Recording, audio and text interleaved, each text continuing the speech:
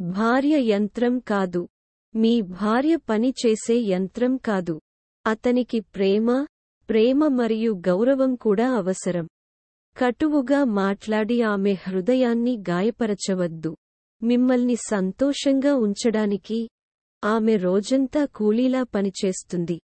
నీ భార్య ప్రపంచం చిన్నదని అందులో నీ శివుడికి ఎవరూ లేరని కూడా మీరు గ్రహించవచ్చు.